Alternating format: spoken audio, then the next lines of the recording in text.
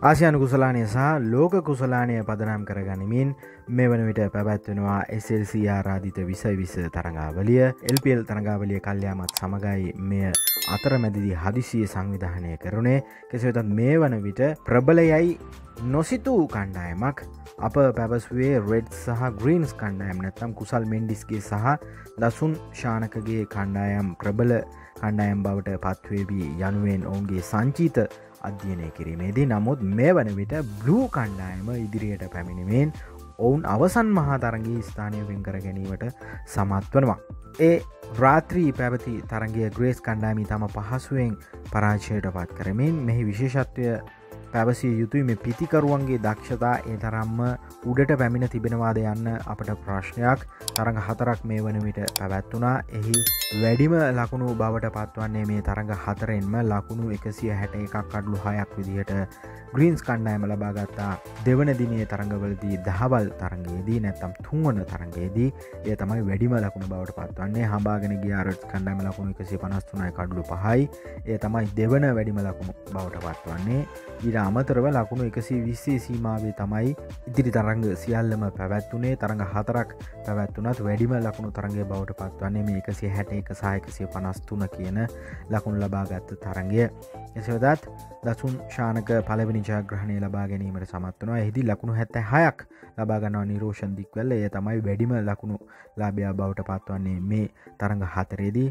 පන්දු පනස් හයකදී හතරේ පහරවල අටක් සමගින් තමයි එය ලබාගන්නේ ඔවුන් ලකුණු එකසි හැට එකයි කඩලු හයකට ඊට අමතරව ලකුණු විසිය එකක් දසුන් ශානකනායකයා ලබාගන්නවා පඳු යැවී මෙදී නැවත අසිත ප්‍රනාාදු කඩු දෙකක් ලකුණු තිස් දෙකට ලබාගන්න අපිට කැපි පෙන්න්න වෙනසක් පෙනී යනවා අසිත ප්‍රනාාන්දුගේ මේ තරඟ හතර නැත ඔහු තරඟ දෙහකට මුහුණ දී තිබෙනවා. මේ වන විට අසිත ප්‍රනාාන්දු තමයි වැඩිම කඩුලා බ්‍යබවට පත්වන්නේ.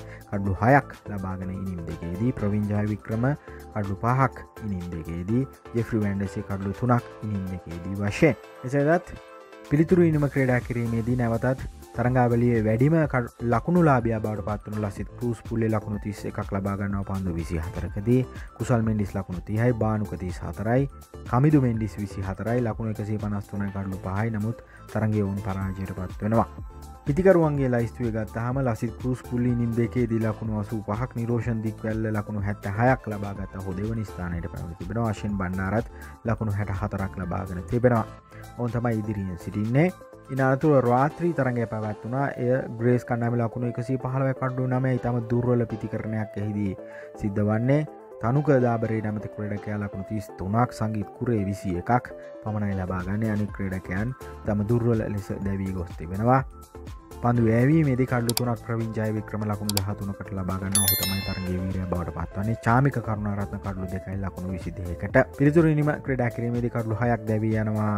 බ්ලස් කණ්ඩායමේ නවතත් එයත් පැවසි යුතු පන්දුවර දහටයි පන්දු තුනකද ලකුණු එක සිදහනමය කඩු හයකට ලබාගෙනමින් තරගේ ජයග්‍රහණය කරත් ලකුණු විසිනාමයක් චරිත අසලංක පන්දු විස්සකදී ලකුණු විසි හතක් නොදවී ආශයෙන් බණ්ඩාර පන්දු විසි තුනකදී ලබාගන්නවා පඳු ඇමේදී මිලාන් රත්නය කඩලු තුනක් ලකුණු විස්සකට ලබාගන්නවා එසටත් ඒ අනුව අවසන් මහා තරගයට තේරීපත් වී අවසන් බ්ලු කණ්ඩායම චරිත් අසලංකගේ කණ්ඩායම. චරිත අසලංකගේ කණ්ඩායමේ ප්‍රබලක්වඩකෑන් ලෙස සිටිනවා දනංජ සිල්වා චරිත අසලංක සදීර සමර වික්‍රමාශයෙන් බණ්ඩාර චාමික කරුණාරත්න කසුන් රාජිත ඒවගේම දිල්ශාන් මදුශංක නවකවේග පන්දුය වන්න ප්‍රවිංචය වික්‍රම වගේ ක්‍රඩකයන්. ඔවුන් තමයි අවසන් මහතරගයට තේරී අවසන් වී තිබෙන. මේ අනුව ග්‍රේ කණ්ඩායම ඉවත් වනවා. ශන්ප්‍රියන්ජන්ගේ කණ්ඩායම ඔවුන්ට අවසන් මහතරගේ ස්ථානයක් වෙන් කර ගැනීමට හැකියාවක් ලබෙන්න. දොළසවිද සෑම කණ්ඩායමකටම එක්තරයක් ඉතිරිව තිබෙනවා. තරඟ දෙකයි. සටන බවට පාත්වන්නේ රෙඩ්ස් සහ ග්‍රීන්ස් කණ්ඩායම් අතර. ගැන කුසල් මෙන්ඩිස් සහ දසුන් ශානකගේ කණ්ඩායම් අතර තමයි දැන් ප්‍රශ්නය විසඳා ගැනීමට තිබෙන්නේ. නමුත් ඔවුන් මුහුණට මුහුණ හමුවන්නේ නෑ. යත් ප්‍රශ්නයක්. යනුව බ්ලූ කණ්ඩායම සහ රෙඩ් කණ්ඩායම මුණ ගැසෙනව දහතුන්ෙන් ධරාත්‍රී හතයි තිහට. ග්‍රේ කණ්ඩායම සහ ග්‍රීන් කණ්ඩායම අතර සවස තුනට තරගයක් පැවැත්වෙනවා. යනු ග්‍රීන් කණ්ඩායම ජයග්‍රහණය කරව රෙඩ් කණ්ඩායම ජයග්‍රහණය කළ හොත් දල් ලකුණු වේගය අනුව තමයි අවසන් මහතරගේ තීරණය කරන්නට වෙන්නේ. නමුත් බ්ලූ කණ්ඩායම ජයග්‍රහණය කර ග්‍රීන් කණ්ඩායම ජයග්‍රහණය කරෝත් අනිත් තරගය කෙලින්ම ග්‍රීන් කණ්ඩායම අවසන් මහතරගට යාම.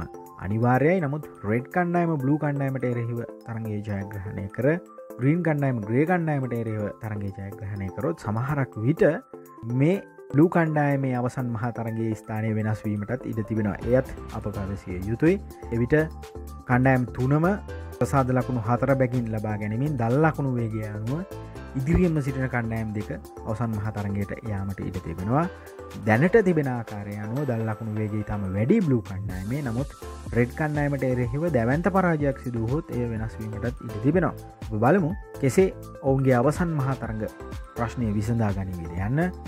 අවසන් මහතරගේ පැවැත්තින්නේ පහළොස්වෙන්ද රාත්‍රී හතයි තියට චැනල් එක සබස්ක්‍රයිබ් කරන්න. සීනුවෝබලා වැඩසටහන් ආපුගම්ම දැනගන්න.